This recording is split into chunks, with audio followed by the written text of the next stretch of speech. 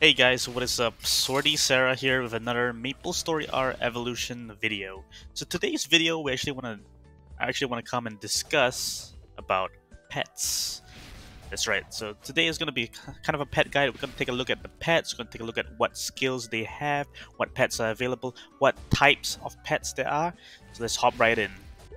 So over in the pet window, there's some pets, of course, I don't have, right? So let's just take a look at the ones I don't have first. Uh, for pets, there's a few different ranks, right? So there's ultra rare, there's SSRs, and then there's SRs. So SRs don't have skills. That's one thing to take note of. Look at this bubbling plus two, it doesn't have a skill, right? It says only SSR and above pets have skills. So let's just take a look at the ultra rare pets, the ones that I don't have first. So taking a look at the flying fish slime.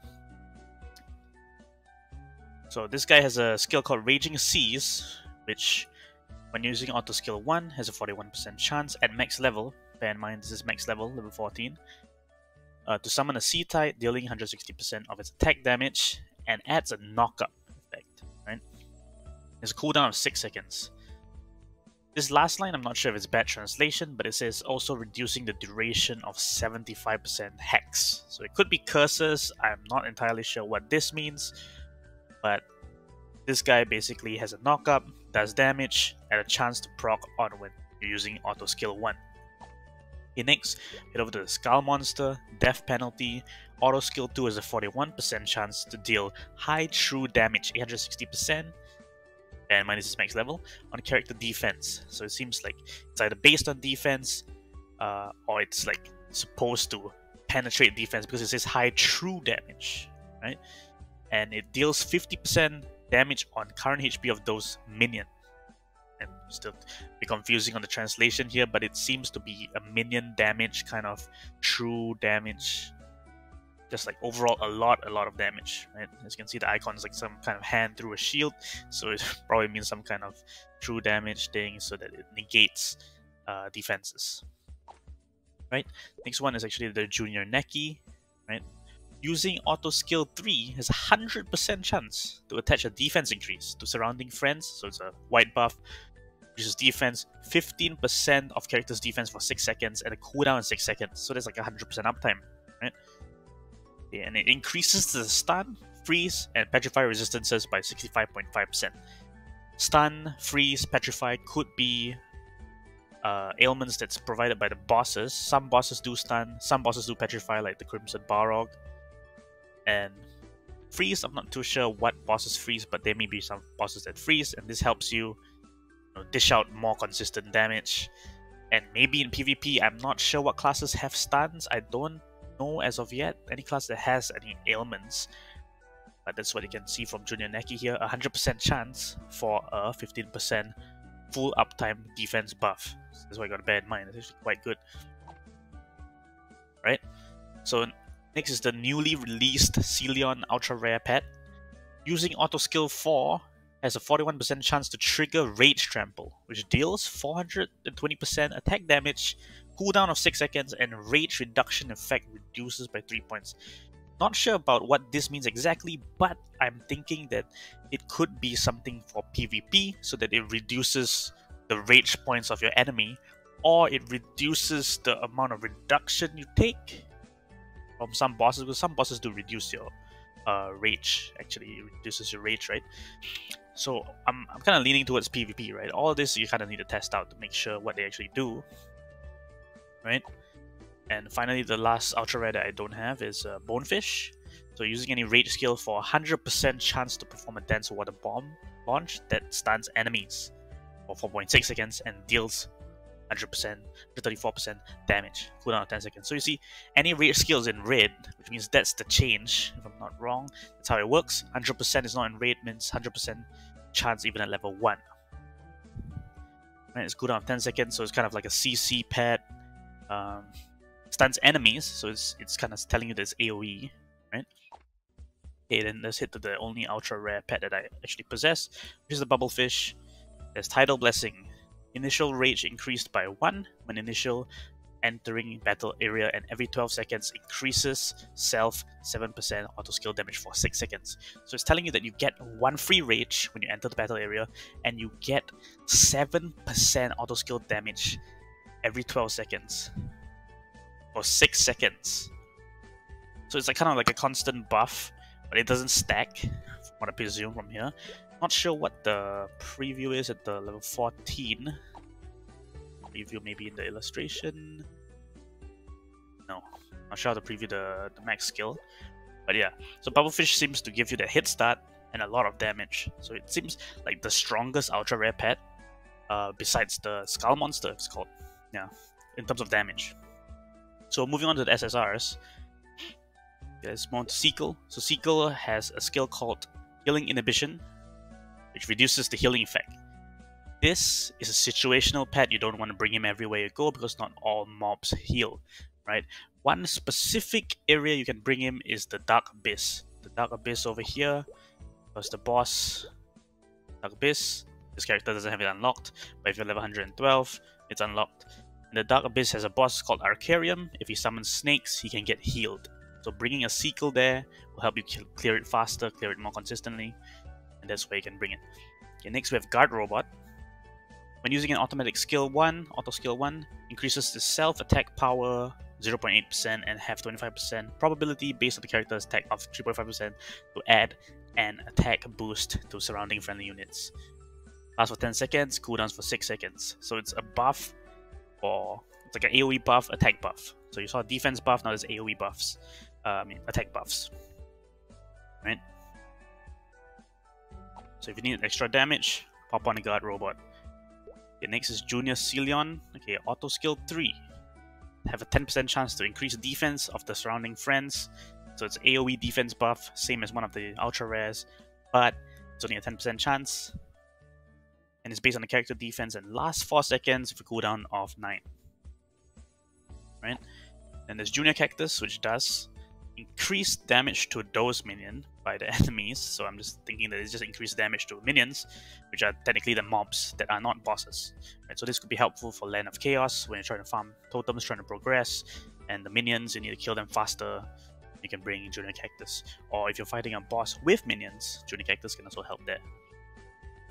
Right? Then uh, Recaroni. This is the free pet you get. Everyone gets a Recaroni, but depends on how many pluses you have. Using auto skill 1 has a 13% chance to fire a spiderweb bullet, which immobilizes the enemy for 1 second and deals some damage, 98%, with cooldown 9 seconds. So this is just like a cute little uh, skill damage skill. Mobilizes, kind of makes them not move for 1 second and does a bit of damage. And next with Card Bear, when releasing any auto skill, 26% chance to refrain from being knocked back for 1 second with cooldown of 2 seconds.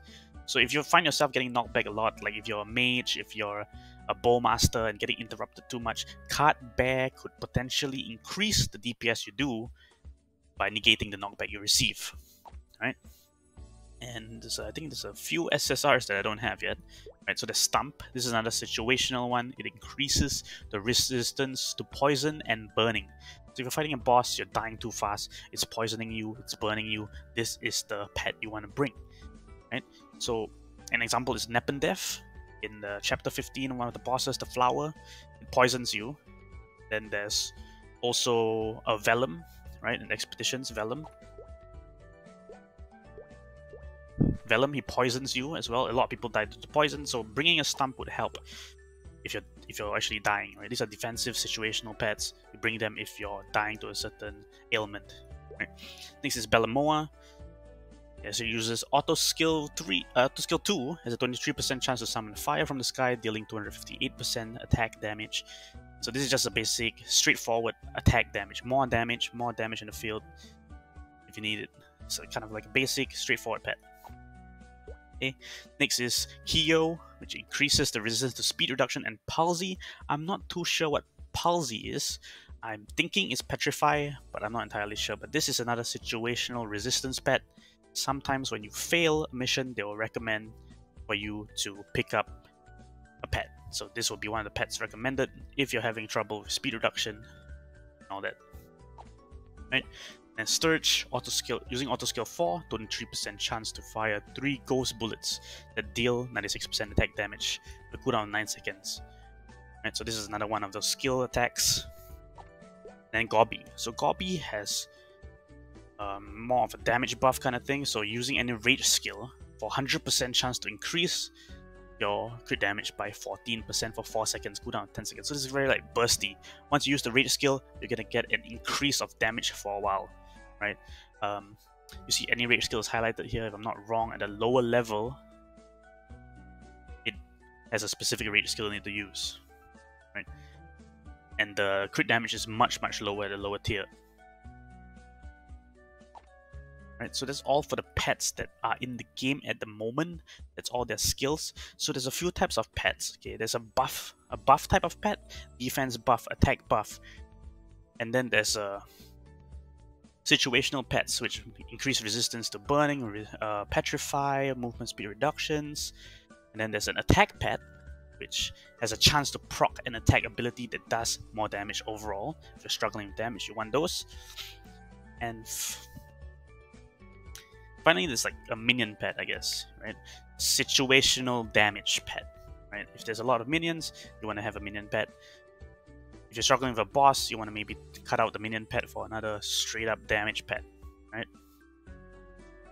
Okay, so once you get pets, you actually want to upgrade them.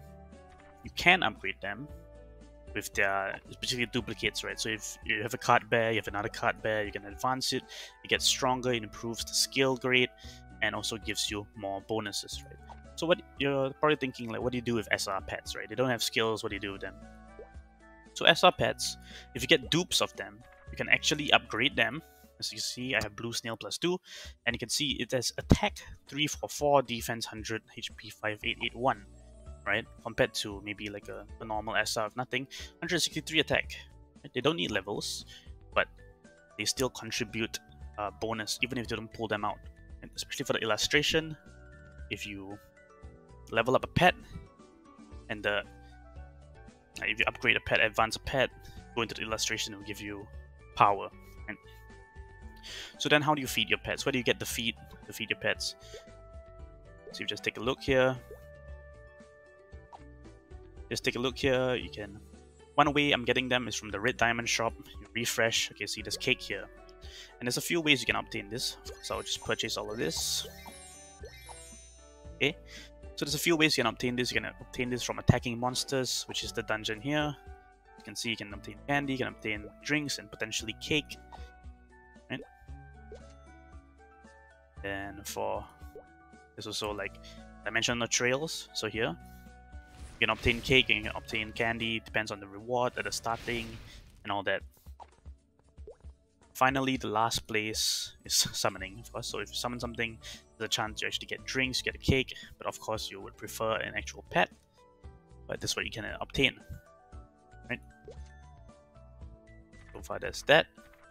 And if you want to obtain duplicates of pets, you can obtain them through gathering some pieces through the various shops, or actually you can do the Dimension Trail. Dimension Trail actually um, make the dimension trail here. At the start, you give pet fragments. Right? So you get pet, pet fragments from summon, and there's a different, there's a few different shops that sell them. Right, uh, the gameplay shop. Yep, the adventure adventure team one sells the flying fish slime fragments. Although I wouldn't really recommend going to hams on ultra rare because ultra rare needs 120 fragments to be able to actually open it. Right in the different shops. Alright guys, that's all I have for you today. Thank you for watching guys. If you want to see more guides, you want to see more videos about information about MapleStory R Evolution, do leave a comment down below on what you want to see. And if any feedback, please let me know as well down below. That's all for today. For, for today. Thank you for watching. I'll see you when I see you guys. Bye bye.